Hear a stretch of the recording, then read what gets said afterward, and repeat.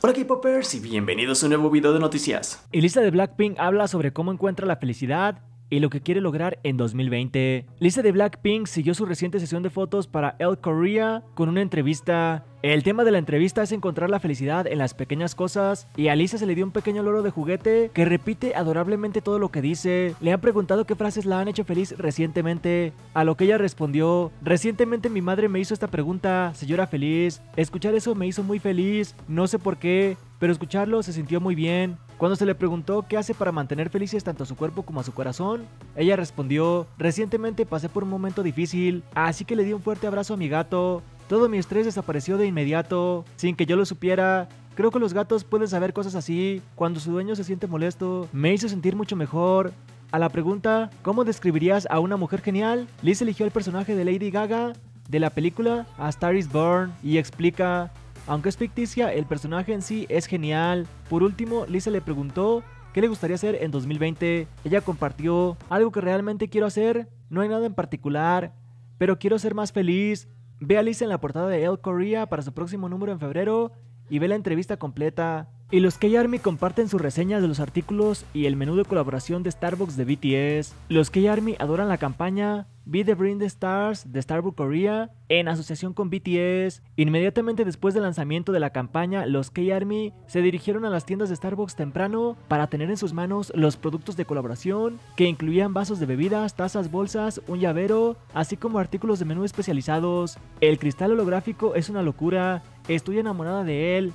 El llavero es tan lindo que creo que podría volar, estoy tan feliz. Todos se han ido, en mi vecindario solo les quedan unas cuantas tazas. Ni siquiera tuve un vistazo físico de las bolsas o llaveros. Todo es tan lindo, llegué un poco tarde, así que pude agarrar todo, menos el llavero de Borla. Miré alrededor en todas las tiendas, pero estaban fuera. Me las arreglé para enganchar el último llavero de Borla, que estaba ahí para exhibir. Es muy bonito, son un poco caros, pero todo es genial. También quería las gafas, pero sabía al 100% que las arruinaría en casa, así que compré las bolsas y el llavero. Literalmente no me arrepiento de haber hecho fila temprano, vale la pena. Me gusta la bolsa de la computadora portátil porque el interior también está muy bien. Básicamente todos pensamos, solo voy a comprar esto y luego barrimos toda la colección. Todo era de tan alta calidad que terminé barriendo con toda la colección. Gasté mucho pero estoy feliz. Compré el llavero de lavarla. Incluso mi compañero de trabajo dice que es suficientemente bonito para querer comprarla. No voy a mentir, literalmente no estaba pensando en comprar ninguno de ellos hasta mañana, pero tan pronto como los vi con mis propios ojos, tuve que comprarlas todas. Los lentes me dejaron sin aliento. La taza es súper linda en la vida real. Admito que son bastante caras. Las gafas son más bonitas en mi opinión. Es un poco pesado, pero es demasiado precioso.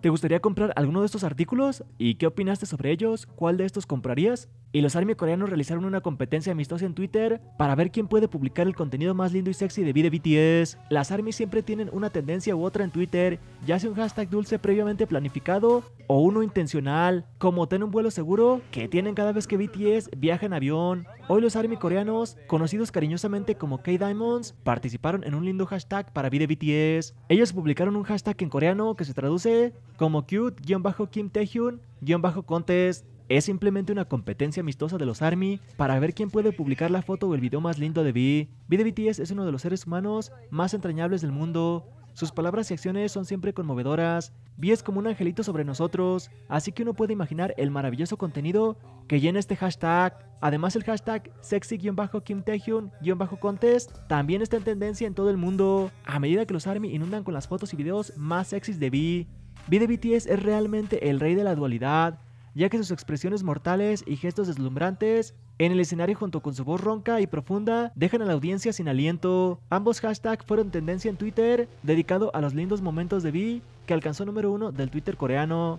Si buscas una manera de aliviar tu estrés o simplemente encuentras contenido adorable, este hashtag es tu nuevo hogar. Desplázate por los hashtags y te garantizamos que harán tu corazón un lugar más cálido y te harán tener una gran sonrisa en tu rostro. Y se revela actualización de Instagram de Monopoly, donde muestran los nuevos bolígrafos de BT21 que saldrán muy pronto a la venta. Y el actor Lee Ji-kyun, amigo de Jin, habló de él en una reciente entrevista sobre su nueva película. Y BitKit Entertainment llevará a cabo una reunión informativa corporativa el próximo 4 de febrero, similar a la que celebró el año pasado en agosto.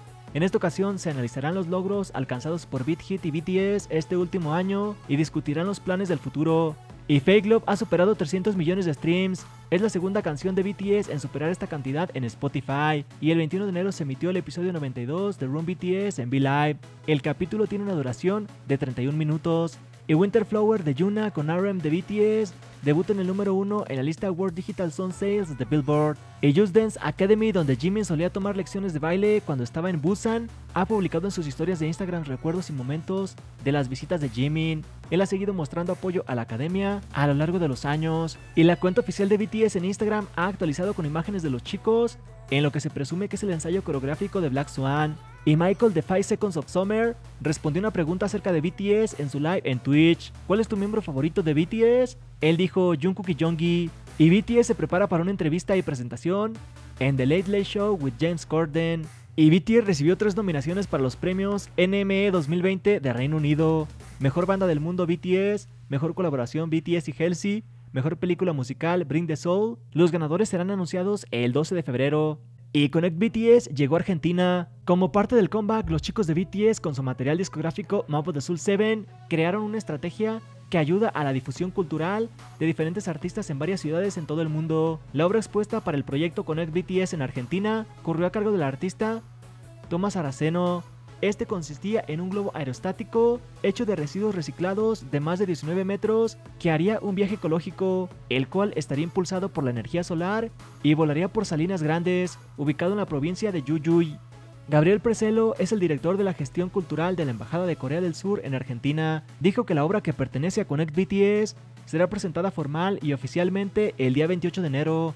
Durante la presentación de prensa del proyecto, los medios de BTS se comunicaron por una videollamada en donde el artista saraceno les pidió que fueran a Argentina y ellos solo contestaron con algunas carcajadas. El artista argentino ya había tenido una serie de exposiciones en la ciudad de Gwangju, Corea del Sur, por medio de Asia Culture Center y con esto BTS demuestra que sus trabajos están ligados con la conceptualidad, el acercamiento de la gente al arte y el desarrollo de la difusión cultural.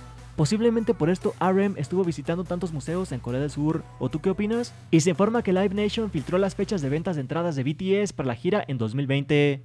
Se han revelado información de ventas de boletos sin confirmar. Prepárate para vaciar tus cuentas bancarias y estresarte nuevamente. La gira 2020 de BTS puede llegar muy pero muy pronto. El 23 de diciembre del 2019, Beat Hit Entertainment lanzó esta imagen teaser con el título Abril del 2020, estén atentos. Desde entonces no se han hecho otros anuncios oficiales de la gira, pero algunas filtraciones recientes tienen a todos enloquecidos. Primero hubo una fuga en donde la famosa lista de fechas de la gira de VIP Nation, una compañía de Live Nation, el 20 de enero, la lista de paradas de la gira, desde su eliminación, incluía estas ciudades de América del Norte, Santa Clara, Los Ángeles, Dallas, Orlando, Atlanta, East Rutherford, Landover, Toronto y Chicago. Menos de un día después de la fuga, los Army canadienses quedaron desconcertados por una misteriosa proyección de BTS en Rogers Center, un estadio en el centro de Toronto. Mientras tanto, los fanáticos de Estados Unidos vieron carteles y anuncios de la gira de BTS 2020 en Santa Clara, Orlando y Chicago. Ahora Live Nation parece haber filtrado las fechas de la venta de entradas para la gira. Estas capturas de pantalla particulares muestran una cuenta regresiva para el 7 de febrero a las 3 pm EST para un show el 17 de mayo en Atlanta, la misma fecha que figura en la filtración de VIP Nation, esto a solo 17 días. Esta página de eventos de Live Nation ahora muestra este mensaje en lugar de una cuenta regresiva, lo que indica que todavía se está trabajando detrás de escena, dada la cantidad de información no confirmada que se ha revelado en tan poco tiempo, parece que las filtraciones podrían ser parte de una nueva técnica de marketing. A partir de ahora todavía la información de venta de entradas y las fechas para la gira 2020 de BTS realizada por VIP Nation y Live Nation no están confirmadas. Estén atentos para más actualizaciones. Y Jungkook de BTS menciona la vez que vio a J-Hope más enojado que nunca. Tomemos un momento y viajemos en el tiempo hasta que BTS acaba de comenzar sus carreras. Fue un momento en el que los miembros experimentaron por primera vez los regalos y atención de los fanáticos. Jungkook recibió una carta de frutas de una fan y estaba realmente conmocionado y tocado al considerar que era algo que nunca había experimentado antes.